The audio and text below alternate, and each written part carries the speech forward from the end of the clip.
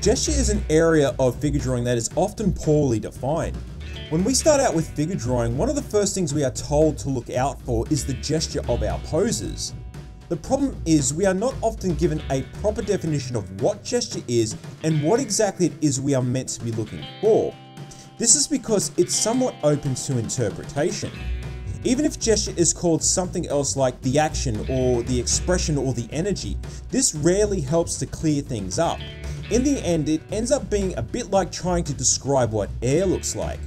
So, what can we do to apply a more tangible meaning to gesture? Well, let's look at a couple of spheres to help us. What we're going to notice with these spheres is that there's an implied directional movement they make as a group together. So we can define gesture as an implied direction, connection, or relationship that moves between a series of forms. So that gives us a starting point, but we can take things one step further. What we'll notice with these spheres is that together they imply a long curved axis line. Any asymmetrical form or asymmetrical position of a form is going to have both a long and short axis line. We want to use this long axis line as our starting point for drawing gesture.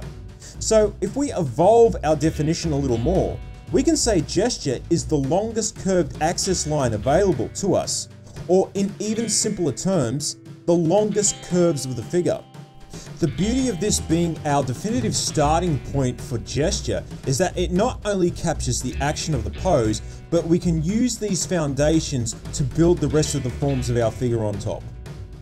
Looking to learn a little more about gesture and figure drawing? Then check out the JW Learning channel on Skillshare for beginners. Start learning today by signing up with the link below to get a free trial. Let's get drawing.